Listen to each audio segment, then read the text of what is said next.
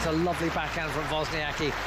Stepping in, taking the short ball. They're playing up the line for a winner. What a shot. Lifting trophies and, and competing is what I love and what drives me. And, you know, obviously, I love to win. Wozniacki goes up the line with a clean winner.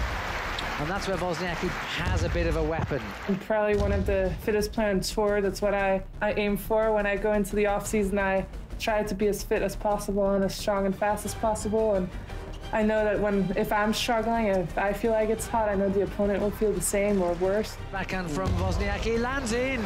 I'm ready. I'm I'm playing well, and I'm I'm excited for the challenge. I'm here to fight. I'm here to do my best. Well, that's a winner from Wozniacki. I'm feeling confident and, and good about this year.